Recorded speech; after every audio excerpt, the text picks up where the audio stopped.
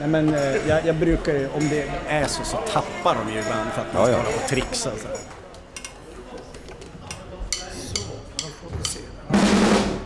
Like, yeah, and then we, we kind of like, you know, shoot back and forth.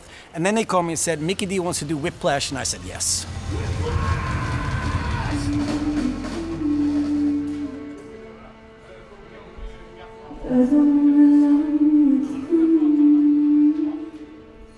I'm very happy, I'm very honored, I'm very nervous, but that's a good thing.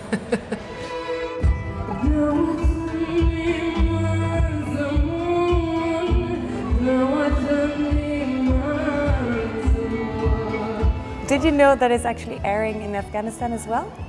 Uh, they just told me about two hours ago, and I was like, oh, yay, that's, that's even more awesome. That, that's amazing.